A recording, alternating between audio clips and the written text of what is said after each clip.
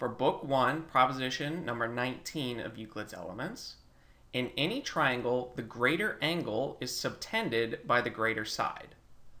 So if we start with some triangle, ABC, and we know that this angle ABC is bigger than the angle ACB, then what we're trying to prove here is that the side AC is bigger than the side AB.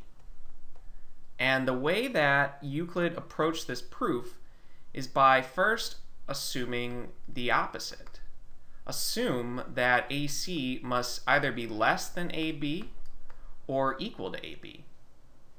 So let's take each of these two cases individually.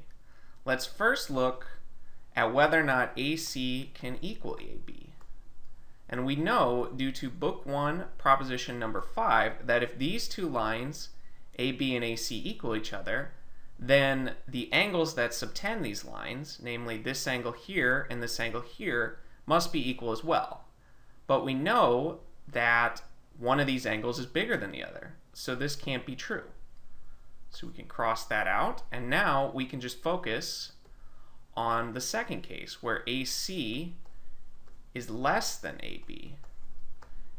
But with this, we know due to Book 1, proposition number 18, that if AC is less than AB, so if this side here is smaller than this side here, then that would mean that this angle here is bigger than this angle here, since we just proved that in the last video. But we know the opposite is true in this case as well.